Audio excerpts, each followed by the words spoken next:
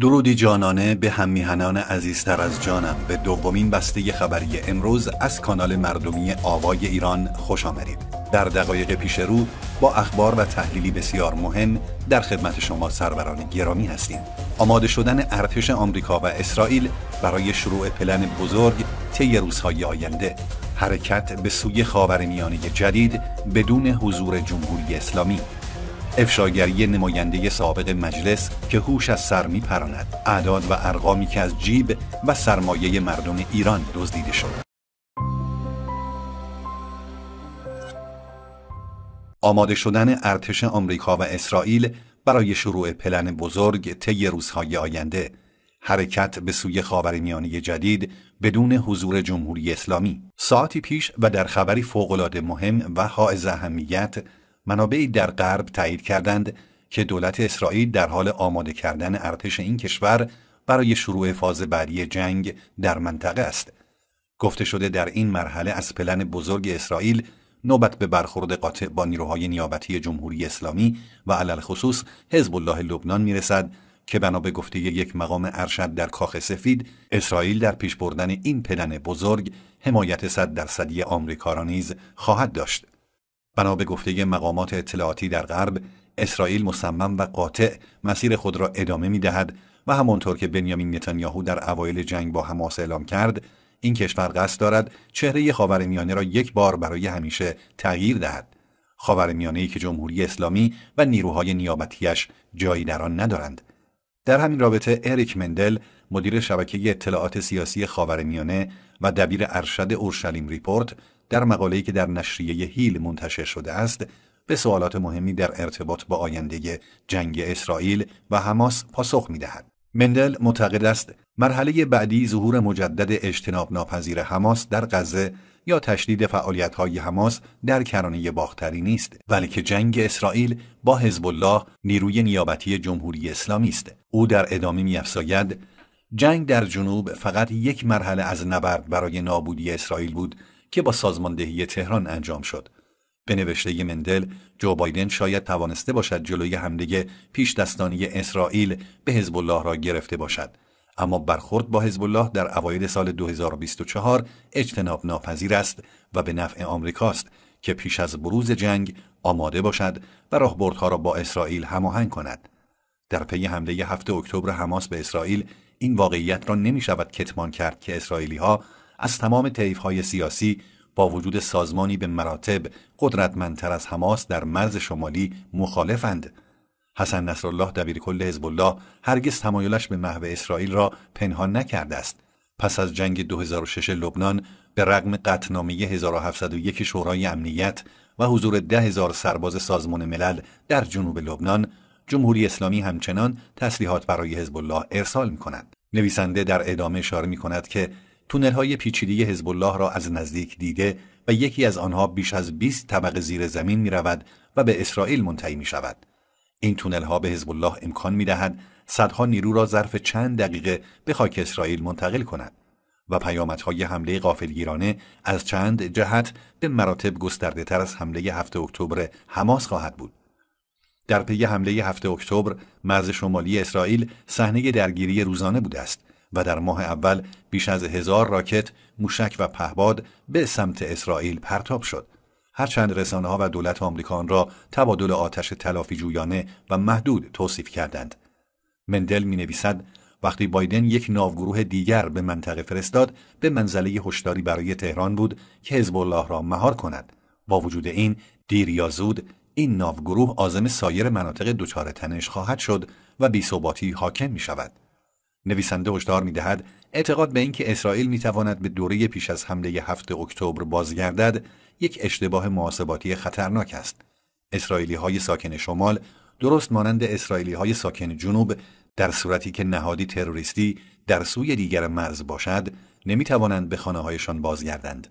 مندل در ادامه میافزاید حزب الله از دستورات رهبر جمهوری اسلامی پیروی می کند و 150 هزار موشک حزب الله به منزله تضمینی است تا اسرائیل را از حمله پیش دستانه به تأسیسات هسته‌ای جمهوری اسلامی منصرف کند. واقع بینانه نیست که آمریکا به اسرائیل بگوید جمعیت غیر نظامی ساکن در نواحی مرزی شمالی را به صورت دائمی جابجا کند.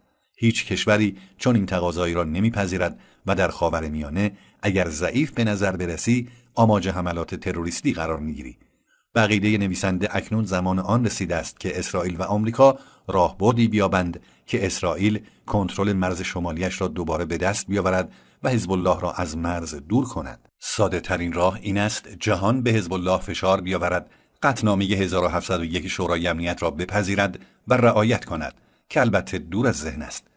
مندل در ادامه میافزاید گزینه واقع بینانه تر اقدام نظامی اسرائیل است تا حزب الله را به شمال نهر لیتانی براند که سازمان ملل 17 سال قبل وعدش را داده بود اما هرگز عملی نشد.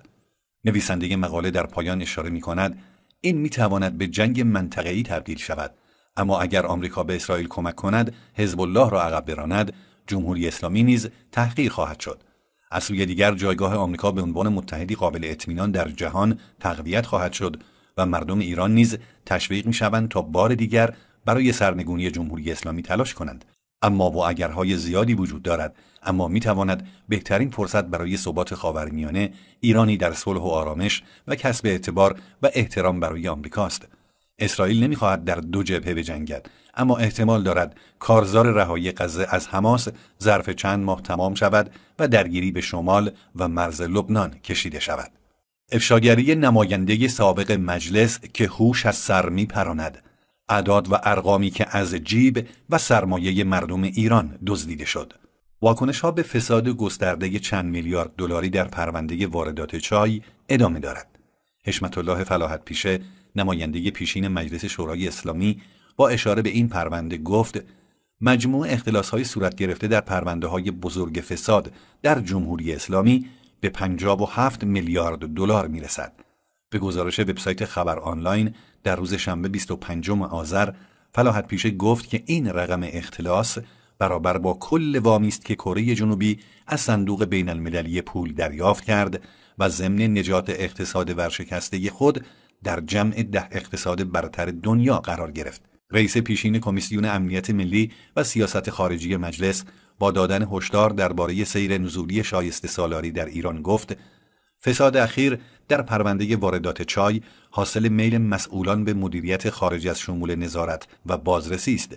به گفته او مادامی که این روحیه در میان مدیران جمهوری اسلامی حاکم است هر فصل یا هر ماه خبر از فسادی بزرگ خواهد رسید. فلاحت پیش ایران را ضعیفترین کشور در حوزه تنقیح قوانین دانست و تاکید کرد.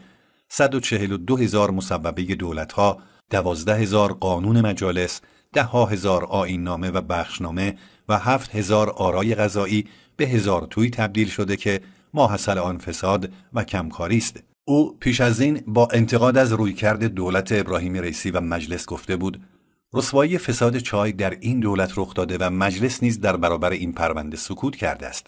محمد مهاجری فعال رسانه اصولگرا نیز از سکوت امامان جمعه در برابر پرونده فساد در واردات چای انتقاد کرد و در شبکه اجتماعی ایکس خطاب به آنها نوشت با اینکه دو هفته از لو رفتن فساد بزرگ چای دبش در دولت رئیسی گذشت حتی به اندازه اشاره کوچک برایتان مهم نبود هم جناهی بودن با دولت ساکتتان کرد و زبانتان به حقگویی باز نشد.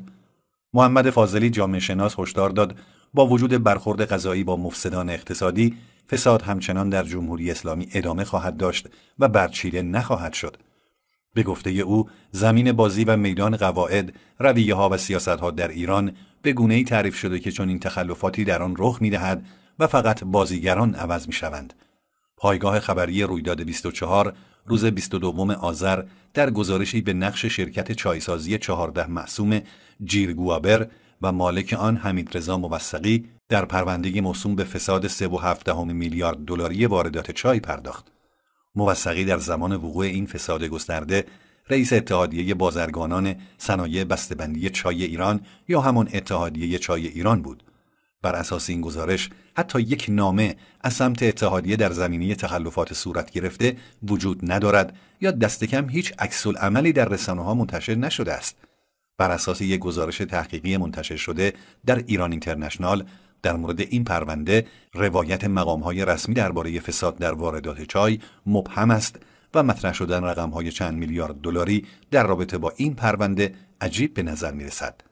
بر اساس این گزارش در طول چند دهه اخیر روند کشف فساد در جمهوری اسلامی همیشه به یک صورت و بر اساس یک الگو بوده است تزریق پرسر و صدای اولیه کشف فساد ورود قهرمانان مبارزه با فساد ساختن یک چهره رسانه‌ای با عناوینی مثل سلطان و دان درشت مجازات آن چهره و بعد تمام. یاران و همراهان گرانقدر به پایان این برنامه خبری تحلیلی از آوای ایران رسیدیم.